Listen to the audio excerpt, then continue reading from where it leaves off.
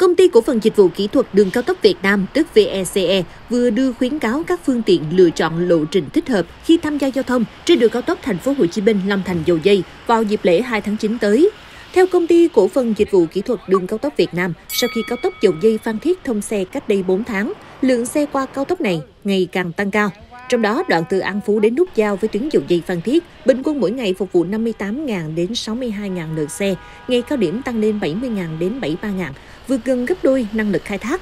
Không chỉ gây ủng tắc trên tuyến cao tốc, lượng xe tăng cao còn gây nguy cơ tạo áp lực đối với nhu cầu sử dụng dịch vụ tại trạm dừng nghỉ km 41 cộng 100 trong dịp nghỉ 2 tháng 9. Do đó, công ty cổ phần dịch vụ kỹ thuật đường cao tốc Việt Nam khuyến cáo các phương tiện lựa chọn các lộ trình thích hợp để di chuyển trong các ngày nghỉ lễ nhằm giảm tải cho đường cao tốc Thành phố Hồ Chí Minh Long Thành Dầu Dây và để đáp ứng được các nhu cầu của khách hàng khi sử dụng trạm dừng nghỉ, đồng thời không gây ảnh hưởng đến lịch trình di chuyển của mọi người. Đơn vị quản lý cao tốc Thành phố Hồ Chí Minh Long Thành Dầu Dây cũng khuyến cáo lái xe chú ý giảm tốc độ, giữ khoảng cách an toàn để tránh nguy cơ xảy ra va chạm trên tuyến.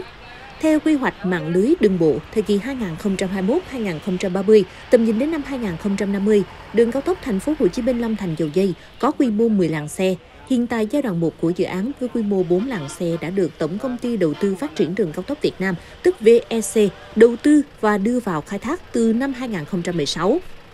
Từ khi đưa vào khai thác đến nay, lưu lượng phương tiện tham gia lưu thông trên tuyến liên tục tăng cao, trung bình tăng khoảng 10,45% một năm. Theo tính toán, phạm vi cao tốc từ thành phố Hồ Chí Minh tại nút giao An Phú đến Long Thành, tại nút giao với cao tốc Biên Hòa Vũng Tàu dài khoảng 26 km đã khai thác vượt so với năng lực thông hành của tuyến, chưa đáp ứng được nhu cầu vận tải. Tuyến đường thường xuyên rơi vào tình trạng ủng tắc nghiêm trọng. Trước đó, vào tháng 10 năm 2022, Tổng công ty Đầu tư Phát triển đường cao tốc Việt Nam đã đề xuất tự bố trí nguồn vốn khoảng 14.700 tỷ đồng để mở rộng tuyến cao tốc này lên 8 đến 10 làng xe.